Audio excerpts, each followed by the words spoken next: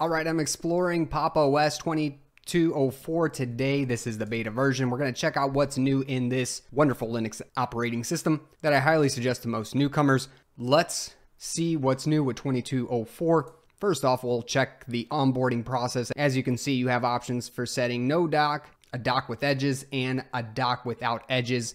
These are all options that you get right away. You can configure your top bar with workspaces or applications.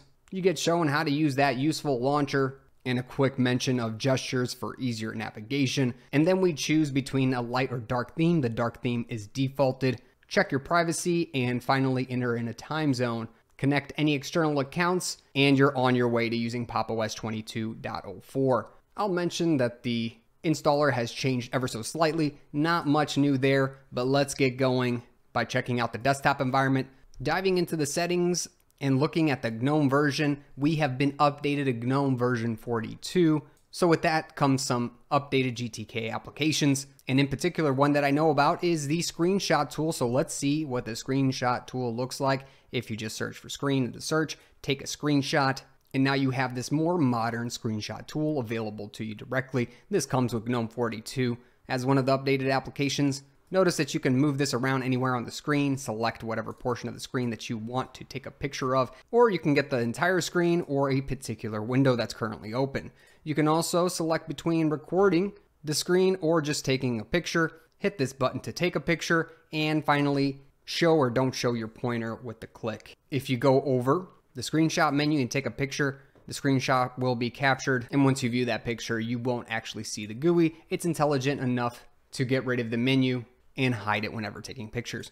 As far as the desktop goes, not much has changed here, but we'll go through it anyway for those of you unfamiliar with Pop! OS's layout of the Cosmic Desktop, as they call it. Let's first start out in the top left with workspaces. You can view your various different workspaces that you currently have open. Applications gets you all your applications, which you can actually scroll through left and right. It's this panel right here in the center of the screen. They do this a little bit differently than what you get standard with GNOME. So expect this. You can search for things up top. So if you're searching for settings, you just type it in. You'll find it. Hitting escape gets out of anything and everything that's currently open. You can also select between Office, System, Utilities, and create a brand new folder where you can place, drag and drop various different programs, utilities, tools, what have you. But Library Home is the default location that it starts out in whenever opening applications. The default web browser here is still Firefox. Let's see if they change anything up with the Pop Shop. This has remained the same. Nothing new to see here. You search, install, and use the same repositories as before. In the top middle of the screen, we have the current date and time, and if clicked on, you can turn on and off notifications, as well as look at the calendar and any events that you have for the day. Moving over to the right hand side, we have their tiling window manager, which allows you to turn on and off the feature to tile windows. I've gone in depth in the past about this. You can check out some of my other videos. I'll post them in the description below if you're interested but pretty much all of this has remained the same. But you can change the active hint color if you want to whatever you want. Now this doesn't change accent colors, which I really wish it did, but you can select whatever you want and just hit select. And now active hint colors will be in this color. I'm not sure that they had that in the last one. Maybe they did. In the top right hand corner, we have volume control as usual, a wired or wireless connection settings, regular settings, locking the screen, powering off, restarting, or logging out of the current session. And then in the bottom, as I have it set up right now, a dock that shows up with their launcher, which is one of my favorite tools here to use in Pop! OS. I really wish more operating systems would add this to their own tool collection because you can search for anything just like dock here for the bottom dock. Make sure you check this out. It's in desktop settings. Under dock, you can change the look and feel of this at the bottom here and even move it around the screen if you don't like where it's currently located. A great place to go to is these desktop settings because you have a lot of choices to make about the appearance of your background, dock workspaces, and desktop environment in general. Moving on, we have show workspaces, same thing as if you're clicking on the top left. You have show applications, same thing again, if you're clicking up in the top left, brings up the same deal. Now, since this is the beta version, I have had some issues with freezing.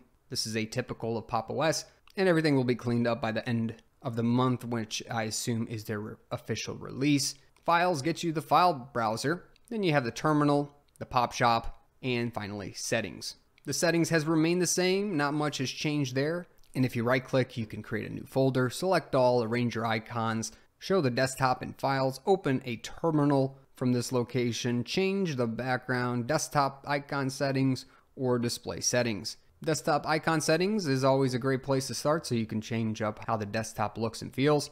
And if you're interested in learning more about Linux, today check out my Linux checklist and cheat sheet at learn.savvynik.com. There's a link below. We'll move right along and check out the resource usage here with HTOP. We have the CPU running between 0 and 3%. Memory is at 1.45 gigabytes out of 8 gigs. No swap being used, 108 tasks, 249 threads running, and we've been up for only 8 minutes. Now, something that may surprise you here is how much memory that's being taken up by the operating system. This seems to be due to GNOME 42, at least across the board where I've seen GNOME 42 being applied to distributions. I've seen a pretty dramatic uptick in the memory usage. Not sure what's going on there, but I've seen about the same across about four distributions now. Whereas before I would have said they were on the lighter hand side with this modern desktop environment at around 800, 850 megabytes out of the 8 gigs. So it'll be interesting to see what happens with that. Now let's check out the system settings through NeoFetch. This is Pop! OS 22.04, the long-term support edition, running on kernel 5.16. There are 1,748 source packages. It's running Bash 5.1.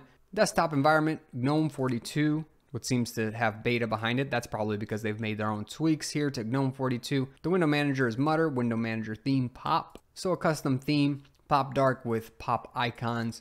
This is being emulated on an AMD Ryzen 7 3700X series with 1.5 gigs of memory being used up out of 8 gigs. Now there aren't a ton of updates here in Pop! OS 22.04, the long-term support edition, but I am excited to see development being done on Pop! OS's Cosmic Desktop that's going to be based on Rust. They have made decent progress on this, and I've shown off some of that progress in a previous video. I'll put a link in the description below. You'll definitely want to check this out if you're a Pop! OS fan. I actually build their projects from source and use a few applications, as well as check out their modified settings so we can get a feel for what Cosmic Desktop will bring to us in the future. We're probably looking at about a year out before we actually get anything from that Rust developed desktop environment.